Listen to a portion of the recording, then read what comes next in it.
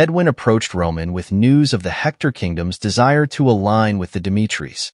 Roman, unsurprised, remarked that he had anticipated this development.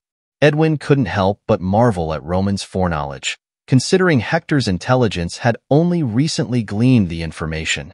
Roman casually mentioned that his own sources had already hinted at the possibility, given the clear advantage one could see in a conflict between Hector and Cairo.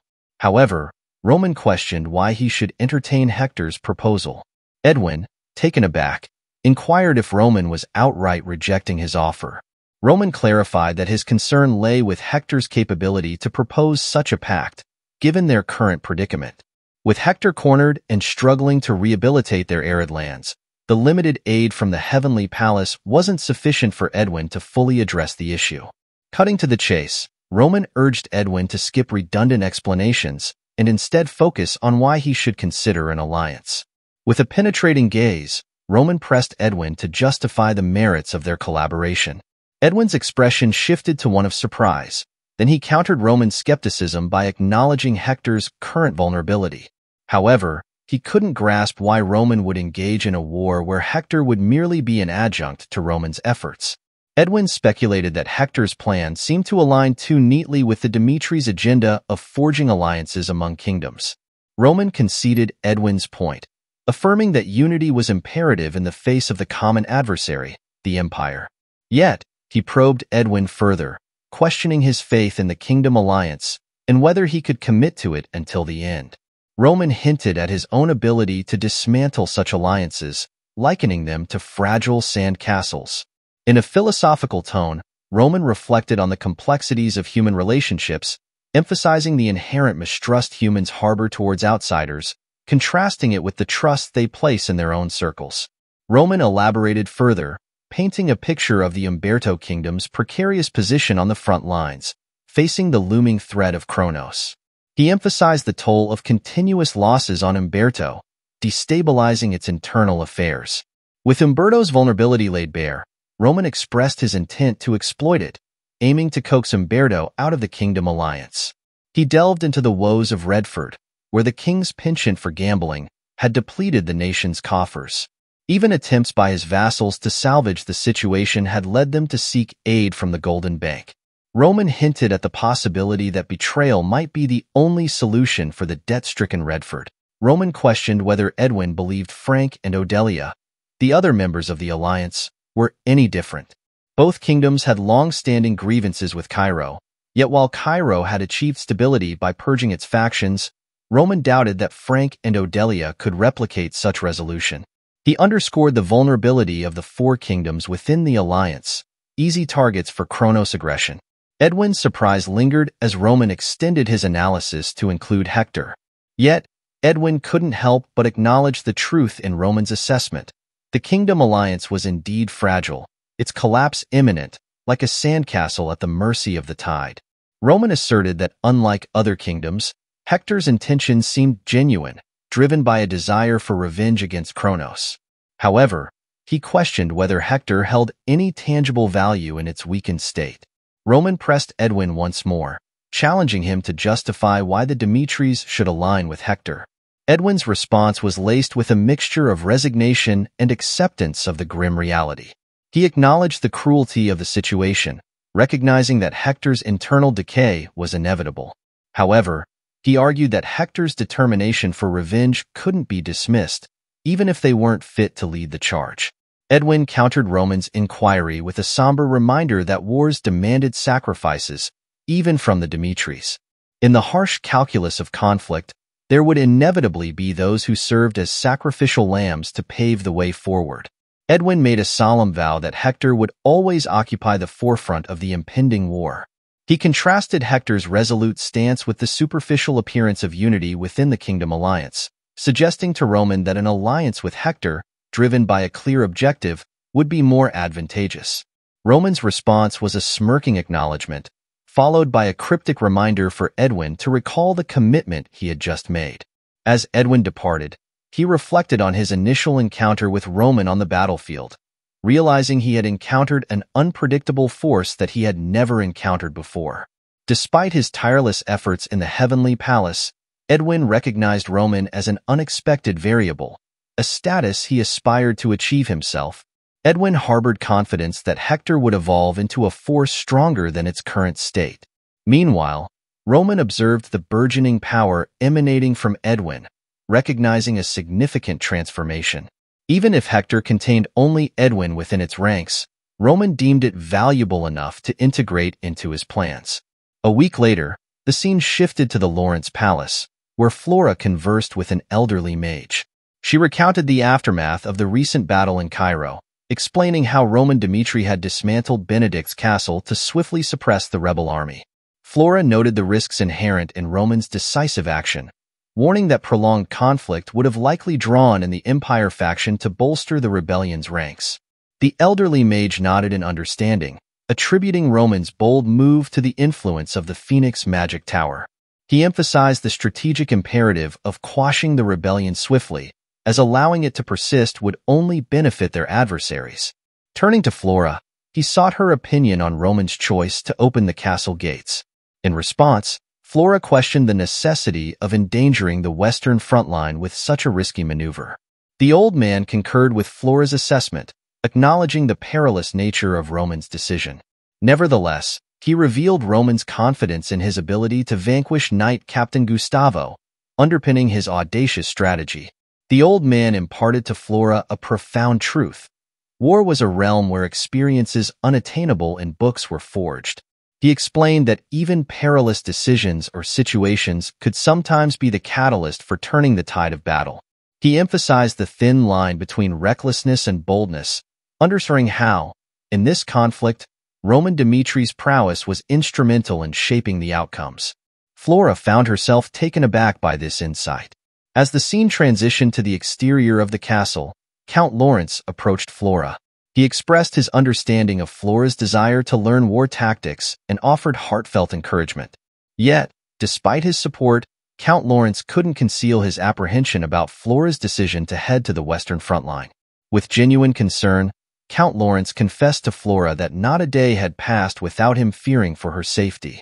He pleaded with her to reconsider and return home. In response, Flora reassured her father, explaining that her time on the Western Front Line had enriched her with invaluable experiences. Each time the Kronos Empire breached Cairo's borders, devastation followed in its wake. Flames consumed the land, and lives were lost. In those harrowing moments, Flora felt powerless, compelled to witness the horrors of war unfold before her eyes. She realized that war had ceased to be a distant concept. It had become an undeniable reality. Determined to confront this reality head-on, Flora resolved to immerse herself in every facet of the conflict, seeking growth and understanding with each experience. She knew that she must prepare herself fully for the trials ahead. Turning to her father, Flora made her intentions clear. She intended to enlist in the Dimitri's army. The scene transitioned to Roman's office, where Chris inquired about Roman's intentions regarding Flora. Roman regarded Flora as a valuable asset, but he hesitated to integrate her into his army immediately. He instructed Chris to convey to Flora that if she participated in a week of rigorous training and proved her suitability for the Dimitri's army, he would officially accept her. Chris acknowledged Roman's directive, but inwardly he grappled with the realization that this offer was tantamount to rejection in his mind. As dawn broke, the training grounds bustled with activity as Dimitri soldiers engaged in their morning run. Among them, Flora pushed herself to keep pace, incredulous at the hour-long duration of the run. She found the intensity overwhelming, but she held on to the hope that it would soon conclude. However, to her astonishment, the soldiers continued to run without respite. Chris announced that soldiers would be ranked based on their arrival order, urging them to give their utmost effort.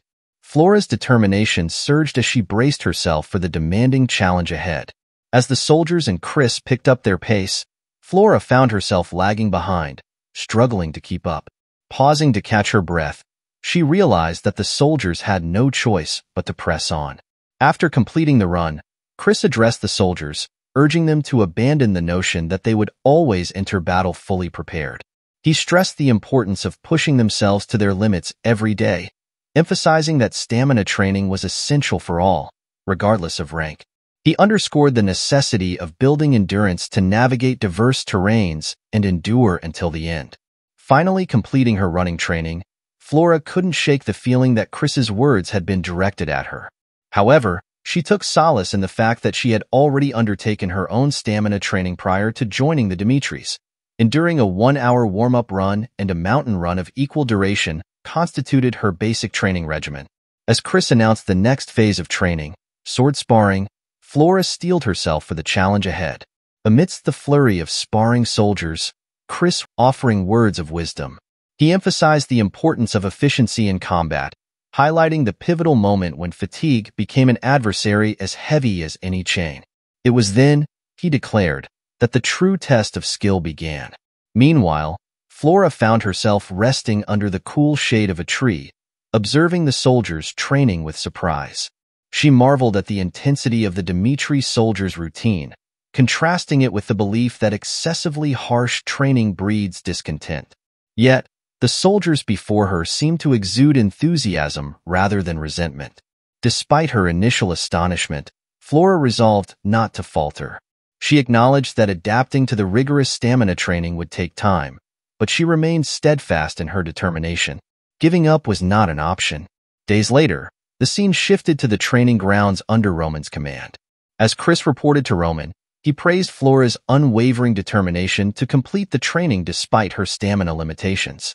While her archery skills exceeded the average, Flora struggled in close combat and needed improvement in that regard. Chris also highlighted Flora's remarkable success in combat strategy training on the third day, where she emerged victorious in 9 out of 10 encounters, often employing unexpected tactics. Curious, Roman queried Chris about his perspective on Flora's value to the Dimitri faction. Without hesitation, Chris affirmed his belief that Flora Lawrence was indeed an asset the Dimitri faction required. Upon hearing Chris's confidence in Flora, Roman couldn't help but smirk, acknowledging the potential significance of her presence. Meanwhile, the narrative transitioned to the Dimitri Castle alleyway, where Thomas accidentally collided with a cloaked figure. Named Sierra, the Kronos commander and a Korch vice master, stepped forward with purpose. She instructed his subordinates to proceed with their plan that very night, urging them to remain discreet and gather intelligence on the Dimitri's security measures. Hidden in the shadows, Sierra's subordinates nodded in silent acknowledgement.